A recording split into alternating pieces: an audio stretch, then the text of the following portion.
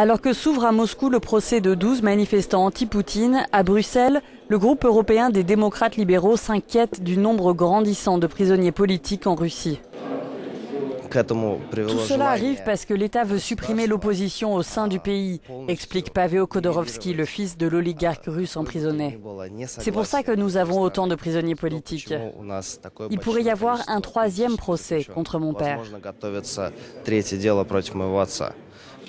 Afin de tirer la sonnette d'alarme, un député lituanien a organisé au Parlement européen un séminaire autour de la question des prisonniers politiques russes.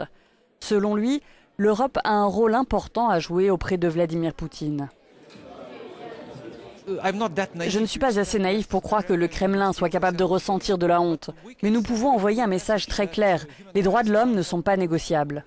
Pour le Kremlin et certaines personnalités publiques russes, la question des prisonniers politiques est un non-problème. Premièrement, pourquoi dit-on que ce sont des prisonniers politiques Et deuxièmement, c'est très regrettable que le Parlement européen et l'Europe politisent ces questions et mettent autant d'enjeux sur des gens comme ça.